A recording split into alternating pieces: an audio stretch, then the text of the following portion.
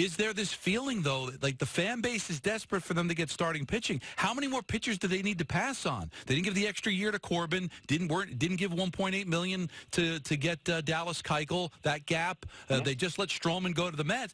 Uh, is it possible because they refuse to pay anything extra that we're going to get past the deadline and they would not improve the starting pitching?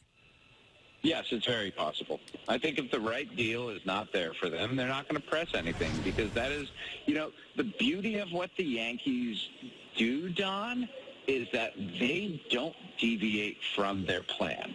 Now, when you don't deviate from your plan and from your organizational philosophy, over the long haul, that is absolutely the right thing to do. If it, let's just think about it. If you are making optimal decisions at all times, in the end, you are going to wind up in the positive. Now, the problem with that philosophy is that sometimes making a quote-unquote bad decision actually will behoove you in the short term. It's just a risk management game, right?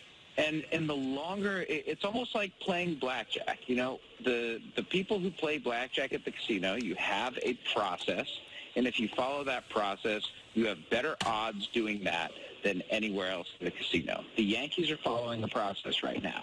And there there is a really good argument to be made that when you have a chance to win a World Series, you short circuit your process and, and you change things up. But you can always give yourself an excuse to short circuit the process. You can always give yourself rationale. Well, you know, we're this close. Well, why don't we just go for it? And and I think there are really good arguments on both sides because what if like hypothetically, what if the Yankees do go out and acquire a starting pitcher and he stinks? Were they wrong? Or because they went for it, does the process itself make them right? Mm, like that's a question I don't know the answer to, and and it's a difficult question to answer. Yeah, it's it's tough and. Listen, uh, you're hearing some rumors about Mad Bum to Houston, so I don't know. Maybe the Giants are reconsidering. The the Mets will never trade with the Yankees, so I guess Noah Syndergaard is off the table. But of the Robbie Rays and the Roarks and and the Minors, uh, are any of these guys guaranteed to be better than Domingo Germán in Game Four?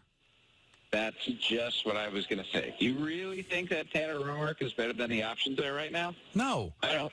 And also, even if you got Mad Bum, if Tanaka mm-hmm. and Hap and Germán and CC and Paxton are going to continue to be awful, you're still going to lose.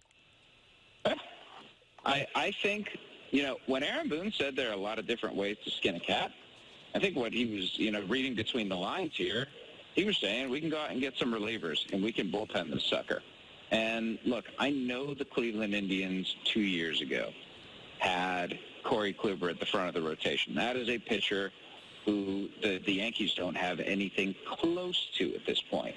But it was Corey Kluber and a bunch of relief pitchers. And in 2019, guys, with the number of off days that there are in the playoffs, you have one after game two, you have one after game five, and then you have however many there are in between the series.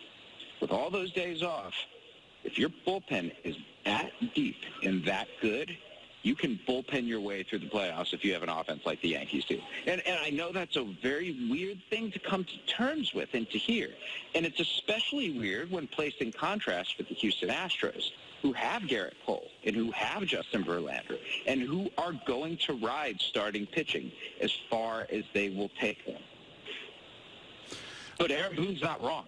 Yeah. You can do that in baseball these days, and I think we're just waiting for the first team that we see to bullpen themselves to a World Series because it has not happened yet. It's going to.